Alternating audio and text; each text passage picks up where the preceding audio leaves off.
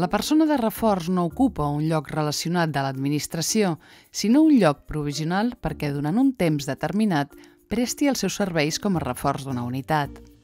Des del menú principal seleccionem l'entrada de menú Relació contractual. Podem fer-ho amb qualsevol lletra. I premem Retorn.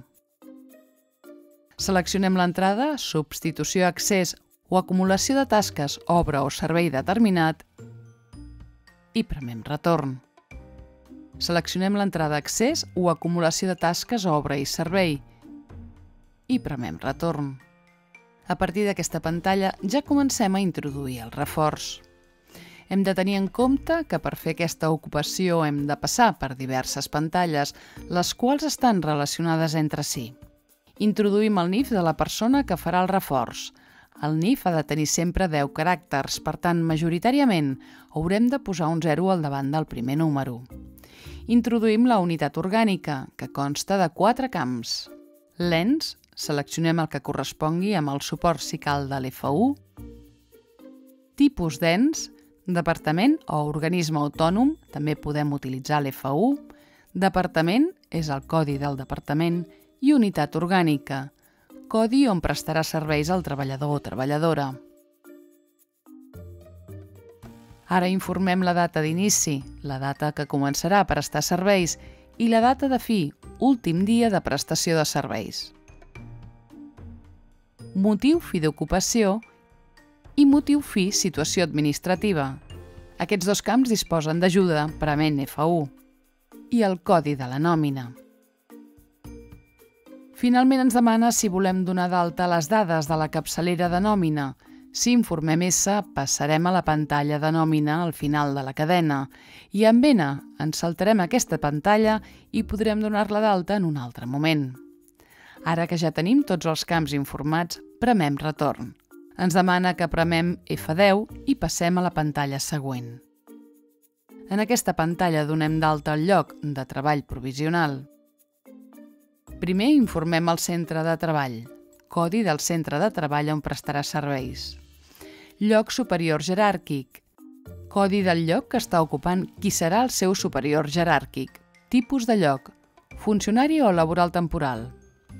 Grup d'accés, és a dir, amb quin grup es contractarà aquesta persona. Nivell de destinació si el lloc és de funcionari. Subdirecció, codi del lloc de la subdirecció de la qual dependrà, si el lloc és de funcionari. Àmbit funcional. De moment cal informar dos guions. Cos. S'ha d'informar en el cas que estiguem introduint un lloc de funcionari. Si en aquest moment premem retorn, veurem que el col·lectiu del cos prement F1 ens dona les opcions. En aquest cas ens decantarem per AG, que és la general. Import. Correspon al complement específic, i fent F1 ens mostra els complements específics possibles per a aquest lloc. Seleccionem el corresponent i automàticament ja ens informa el camp import mensual o anual. Un cop finalitzada la introducció d'aquestes dades, premem retorn i F10. Ens trobem davant d'una pantalla informativa que comunica les dates de vigència del complement específic. Per tant, només hem de premer retorn i F10 per passar a la pantalla següent. En aquesta pantalla les dades són personals, tret que la persona ja estigui donada d'alta al GIP. Els camps a informar són primer cognom, segon cognom, noms, inicials, data de naixement, sexe, Lloc de naixement, informem el literal. Nacionalitat, prement F1 tenim l'ajuda, recorda que amb F8 avancem i amb F7 retrocedim.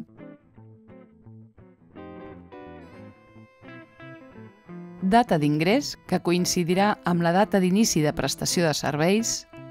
Número d'afiliació a la Seguretat Social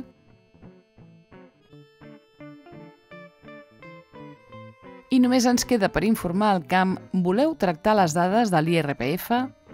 Si optem per la S, passarem a la pantalla de l'IRPF. Si informem N, saltarem aquesta pantalla de la cadena. Quan tinguem aquestes dades emplenades, premem retorn, un altre cop retorn i passem a la pantalla següent. Dades de l'IRPF que cal informar. NIF pagador que correspon al NIF de l'empresa. I situació familiar, la que el treballador o treballadora ha fet constant al document model 145 que ens ha presentat. La resta de dades han de ser informades o no, depenent de la informació que consti en el model 145. Un cop informades les dades, premem retorn per validar-les i retorna altre cop per anar a la pantalla següent. Aquesta pantalla ens informa de la relació contractual. D'acord amb les dades que hem introduït a la pantalla del lloc, el sistema ja ens donarà informats tots els camps obligatoris de la relació contractual. Només ens restarà indicar el tipus de contracte.